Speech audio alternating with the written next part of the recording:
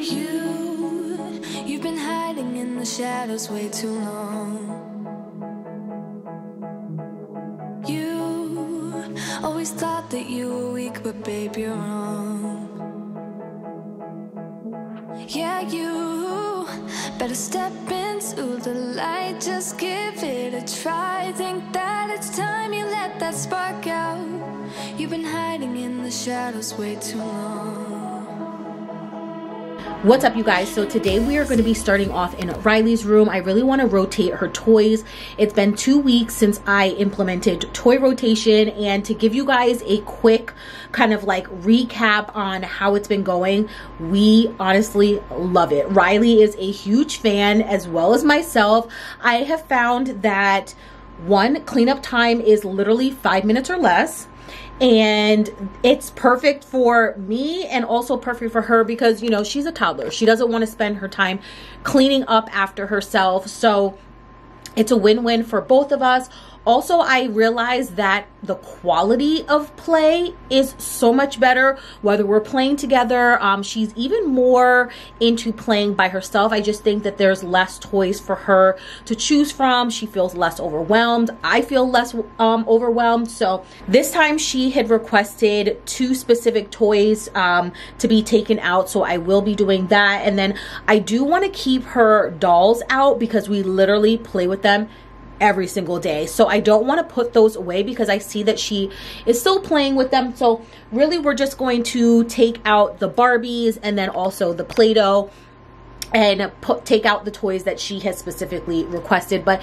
she told me she is really enjoying toy rotation um so if you guys are feeling a little bit overwhelmed when it comes to like the amount of toys and clutter and all of that kind of stuff around your house, I highly recommend trying toy rotation. I'm not going to lie, the first initial process of it all does take a while. It took me about two hours to get everything done, but it's worth it in the end because I feel as if we're bonding more, the quality of play is better, and not to mention, I barely even clean up her room anymore because cleanup time is five minutes or less. So she will help me clean up everything up, and it's like that. So um, also, I didn't tell her where I hid all the toys and this weekend um, she's with her dad. So it's the perfect time for me to do toy rotation. So I think that's probably what I'm going to do. Every two weeks, I will implement toy rotation. And then I think this time I also want to do the same thing with her books. There's books that she enjoys, but she tends to keep going towards the same ones over and over and over again. So I want to implement that as well. So we'll see how that goes. I will give you guys an update, but let me stop rambling and get these toys out, rotate them.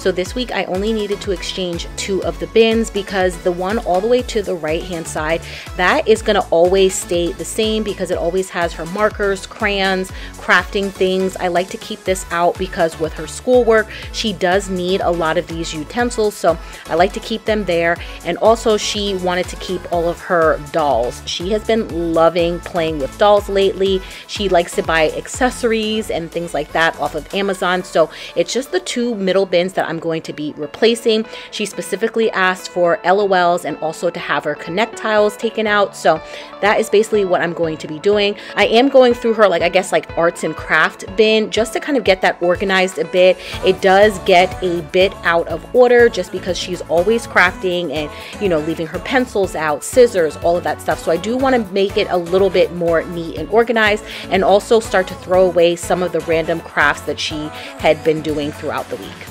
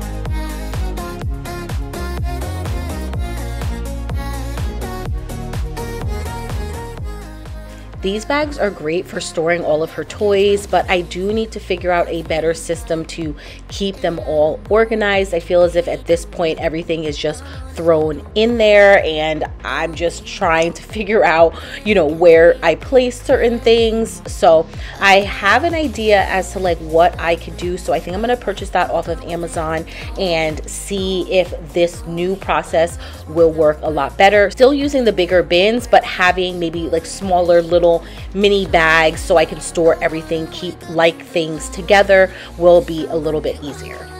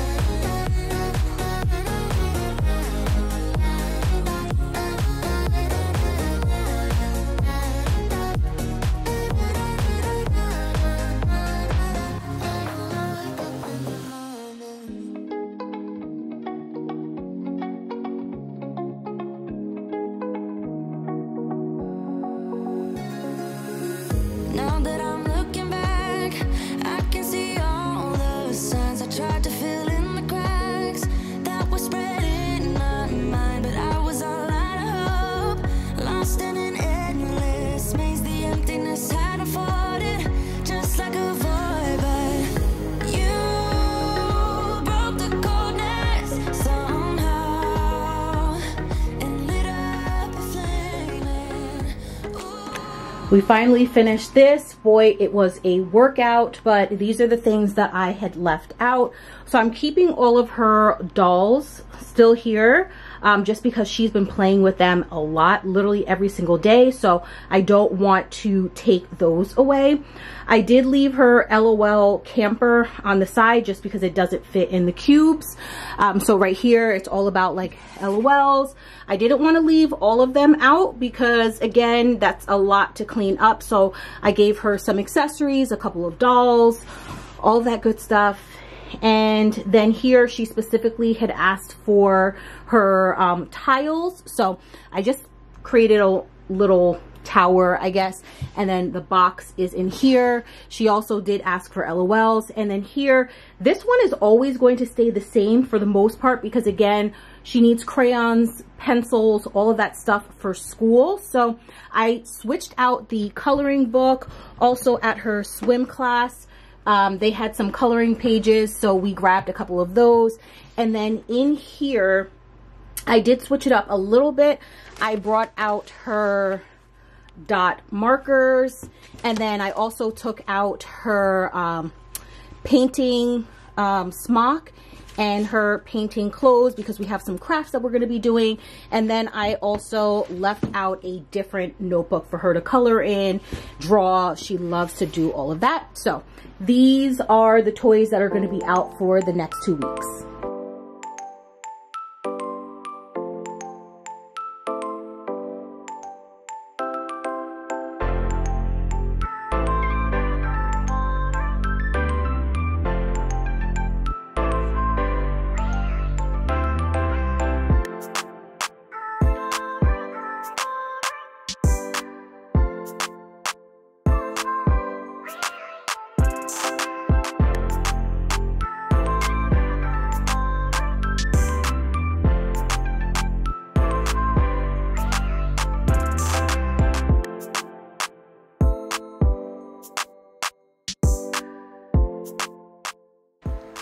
So this week I decided to incorporate book rotation as well because again, we have so many different books that are just out on the shelves and she always tends to go for the same exact ones and we read them over and over and over again. And I wanted to add a little bit of a variety so I left about probably three or four books per shelf and I want to see how this goes to see if she is more welcoming to reading new books ones that she hasn't read in a while and then we can rotate those out.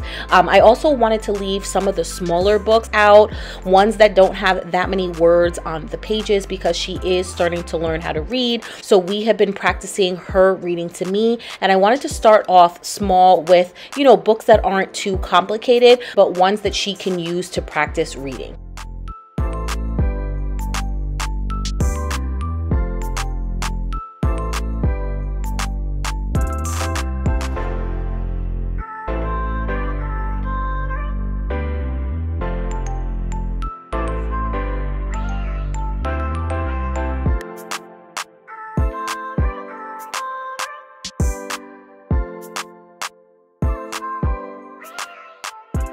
I'm mostly done in here. I just need to vacuum. I did also want to clean the curtains. Clearly you can't throw them in the wash. So I'm going to use a lint roller and just kind of roll over them, try and get any dust, lint, all that stuff off. Um, and then vacuum and we're done in Riley's room for the most part. Um, this is the most cleaning that I really do in here since we've incorporated toy rotation just because I did explain to you guys earlier cleanup time is literally five minutes. She's been really really good with making her bed in the morning helping me clean up. So I'm like so thankful um, that she's like such a great helper and so many of you guys mentioned that and comment that on my videos. Um, it's bittersweet though at the same time because it's like she's growing up and you know she's becoming more independent but I just still want her to be my baby so you know it's it's it's a bit of a struggle and definitely bittersweet.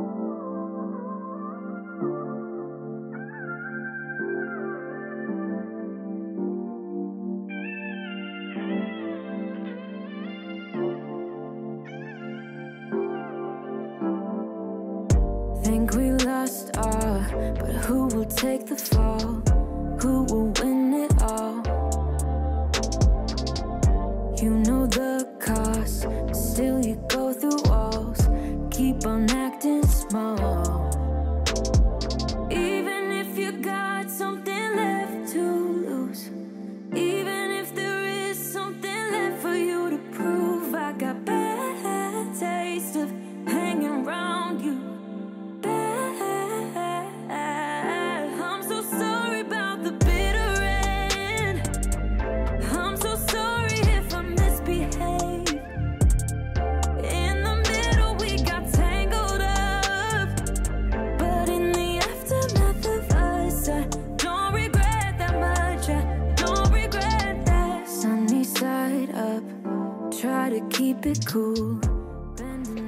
So the only way that I really know how to clean curtains is to really lint roll them. I don't want to have to worry about completely taking them down, throwing them in the wash or and anything like that because honestly, it's really not that serious to me. So I'm just going to lint roll them, get all of the dust and stuff that has collected over, you know, the past couple of months. I'm going to quickly vacuum her room and then I'm going to move on to the living room.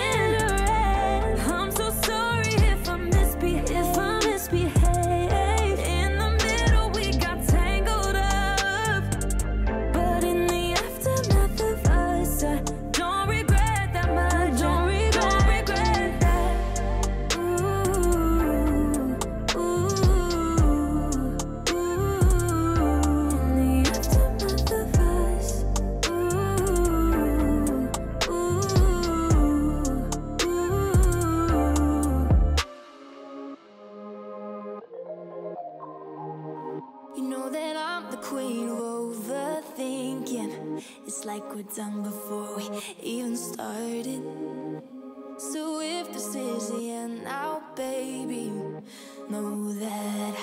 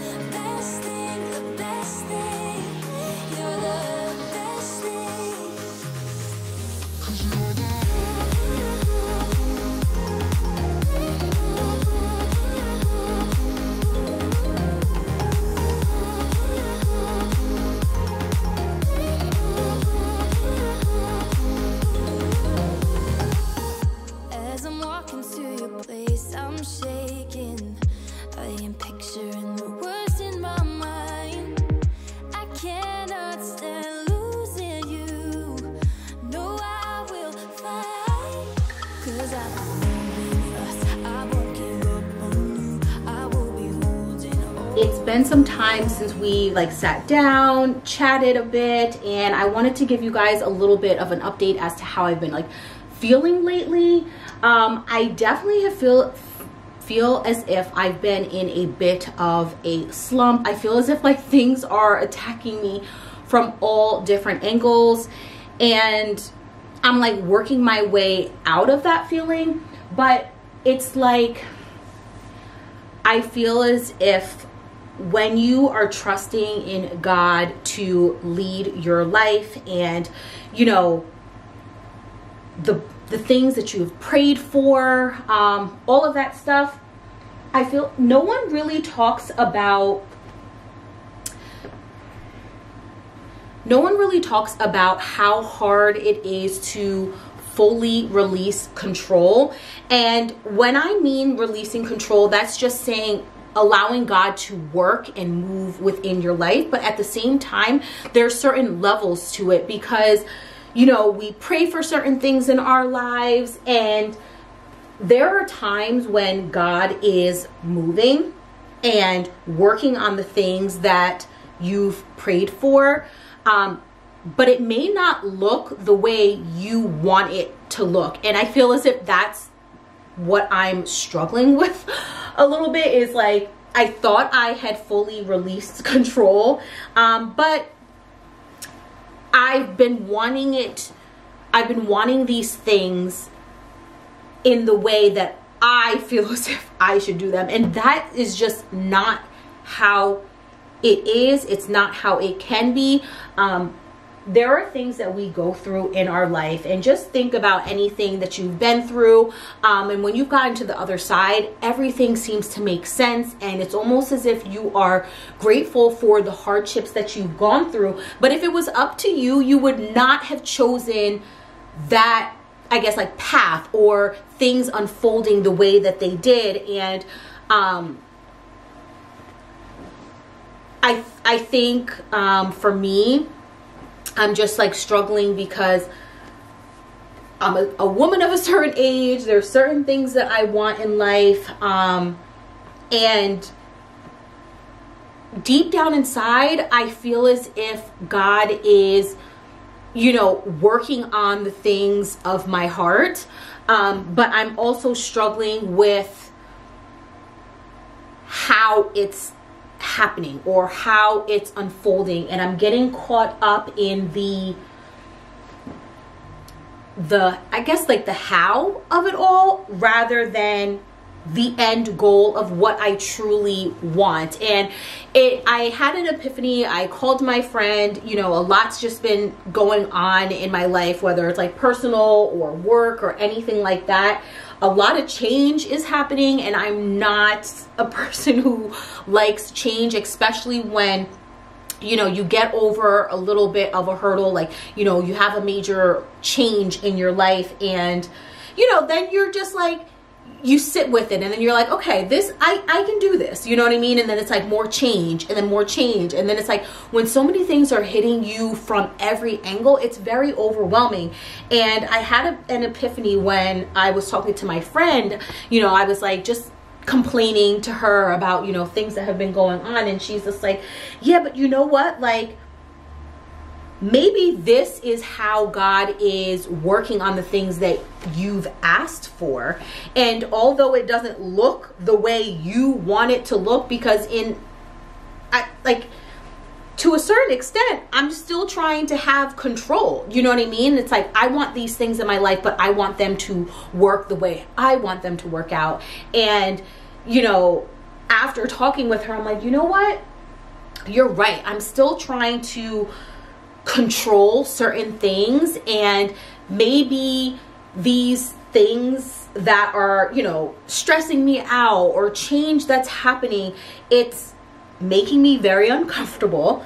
Um, but I have to truly believe that it's all working out for my good. And I think, you know, I get caught up um, with how things look now rather than trusting in God and knowing that however he plans on moving and leading my life, it's all going to work out for my good. He's not going to bring me this far to leave me.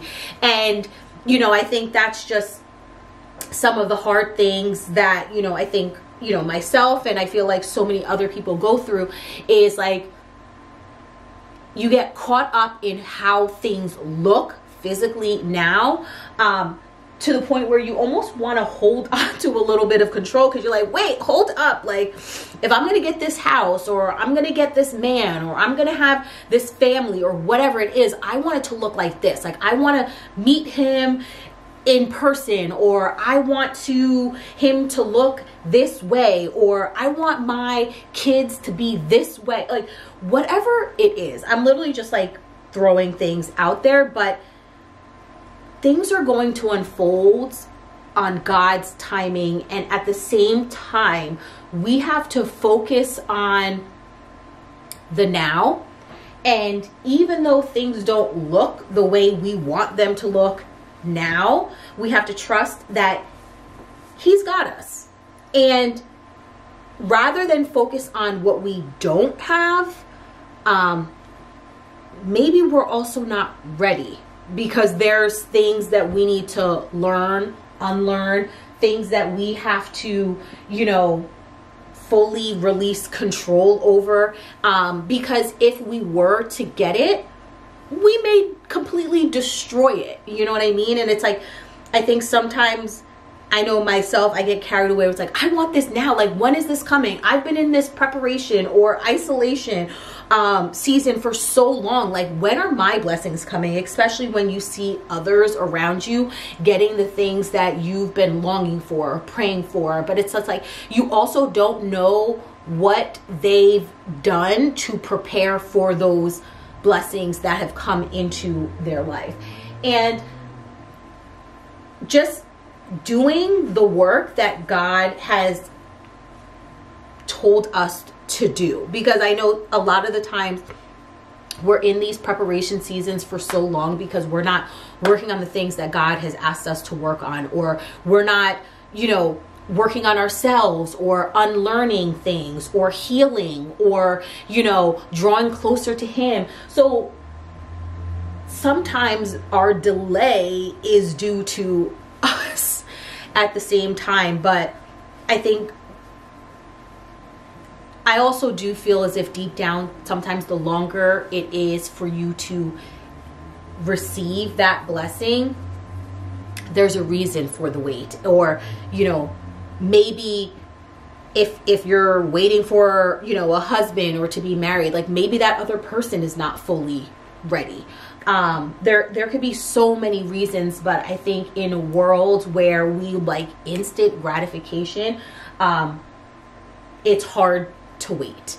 And that's kind of just what i've been struggling with. And also a lot of change has been going on. I just feel as if like with work and I always bring myself back and try and humble myself and just say, like, God is the one who got this job for me. And if you guys have been around for a while, like literally within a matter of a week, I got a brand new job, um, making way more money than I thought. This position is going to help grow me. Um, from the perspective of working and the things that I have been wanting to do um, from my last job that I just wasn't able to and now that I have it it's just like I feel so overwhelmed and I feel as if like I'm trying to keep up and you know then I got a new manager and it's just like so much stuff is happening. But then I have to humble myself and just like this is what I prayed for. This is what I asked for and if I think or thought that it was going to be easy, if I thought that this was going to allow me to sit in my comfort zone, then I don't know what I was thinking. You know what I mean? We can only progress in life when we step out of our comfort zone. And I think at the same time, although we do need to be comfortable with being uncomfortable, it's also okay to be like, I feel so out of my realm. Um, but I think that's when you have to fall back and trust in in God and trust in the things that you've prayed for and know that he is with you to have that level of comfort where it's like, you know, it, it's going to cause you to draw closer to him because if we could do things on our own, then we wouldn't need him you know? So um, in this time I, i've just been trying to draw closer to him and sit and trust that it's all working out for my good even though when i look at things right now that's not at all how i feel but there will be a moment and there will be a time when i look back and i'm like it all makes sense. So I always feel as if I'm rambling when I have these type of conversations with you guys, but you guys do always tend to understand where my heart is when I, you know, express the things that I'm going through. And I'm naturally the type of person when I am going through stuff, I shut down. Like, I don't want to necessarily talk about it with other people. I'd rather deal with it myself. And I know that that's not healthy at all. And in some ways, it's honestly sometimes easier just talking to you guys about it because it's like I'm just like getting it all out, just venting my feelings. And then I end up feeling a whole lot better. But I just want you guys to know that if you guys are struggling with where your life is at, you know, the outside world is crazy right now, to continue to trust in God, continue to trust that He is, you know, working on the things that you are praying for and also a, like letting go of control as to how those things are going to unfold because God knows where God knows his plan for our lives way before we ever existed. So for us to try and take the lead and control how these things come of our lives, I don't think that that is the right way to go. It's just more of trusting in him, trusting in the fact that he has your best interest at heart, but also at the same time being present in the moment and being grateful for what you have right now. Um, for example, like at least for me, you know, I want to own a house, but the outside world and the economy that we're living in, it's basically saying, no, that's not going to happen. But I'm still praying for that. I'm still prepping for that. I'm still grateful for the apartment that I have and not going to downplay where I'm at right now because I'm not where I want to be. Um, I'm being grateful for a roof over my head. And no, it's not the end goal, but if I can't even be grateful for what I have, how do I expect God to give me more? You know what I mean? So it's kind of all of that has just been like going on. So just been dealing with a lot, but at the same time, you know, getting it out and reflecting on where I'm at and staying present in the moment and drawing closer to God has really, really, really helped me. Um, I'm trying to get better at praying and, you know, and maybe that's something I need to also work on, you know? So, I just wanted to give you guys some encouraging words. You guys are not the only ones who's struggling for those who are, but I will just say what has worked for me is just taking a deep breath, taking it easy, listening to my needs and my body and not pushing myself. Um, but also knowing that when I am feeling uncomfortable with how things are, you know, unfolding, knowing that growth is happening and at the same time, I can't wait to see what is in store um, because God can change things in an instant. And we just have to be ready and do the work um, so that when we get to the next season, we're prepared for everything that comes with that. So, I hope you guys enjoyed. Let me put this um, stuff away. And then I do need to clean the dining area also clean the kitchen a little bit. So we're gonna get some more cleaning done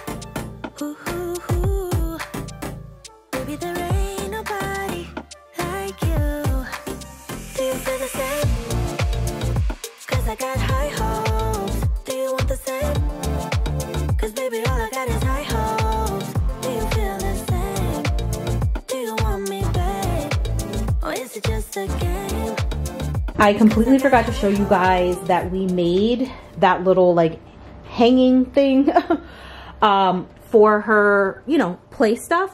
So I ended up using the um, roll that came with the runner and it was very sturdy and everything. So we just hot glued it to the bottom piece and then we used hot glue gun, a hot glue gun to put little thumbnails, I guess, if that's what you call it, or tacks in there. And then we used a little bit of cardboard up at the top and that was that. It was pretty easy. We are thinking about painting it, but for now, this works.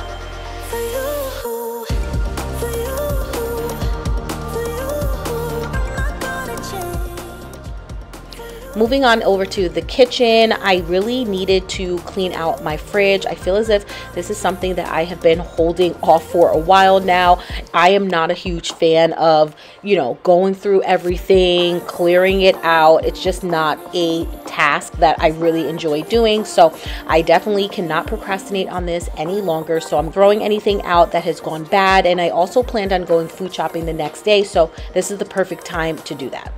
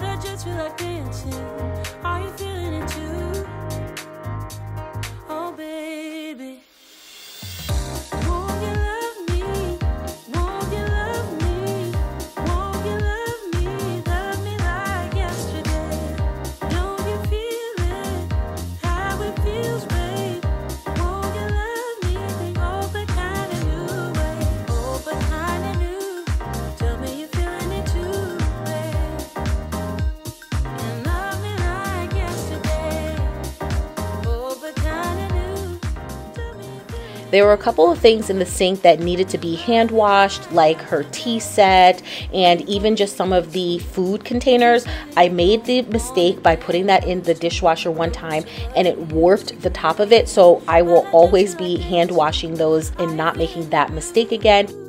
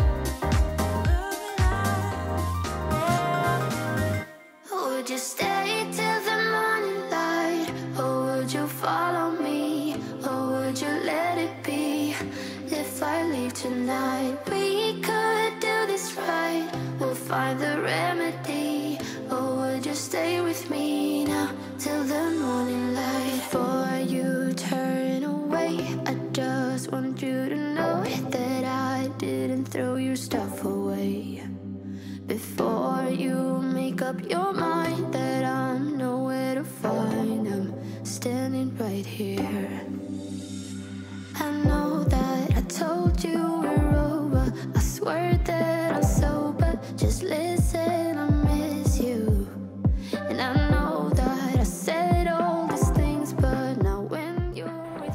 As I mentioned earlier, I planned on going food shopping the next day, so I also figured this is the perfect time to clean the microwave, clean the stove top, so that all I had to worry about the next day was going food shopping, starting to meal prep, because I definitely need to take my health a lot more seriously. I feel as if I've been telling you guys this for a while now, but like I really do need to get my life together, which I will update you guys in a future video. But I just want to be healthier, feel more confident in my own skin, and that really starts with eating healthier, eating whole foods, eating out less, and you know, cooking and eating at home. I don't know about you guys, but I hate cooking in a dirty kitchen. So if I could get the entire kitchen cleaned, the refrigerator cleaned out. So the next day, the entire process of, you know, meal prepping and all that stuff goes a lot smoother. I feel as if that is going to be what is going to work best for me.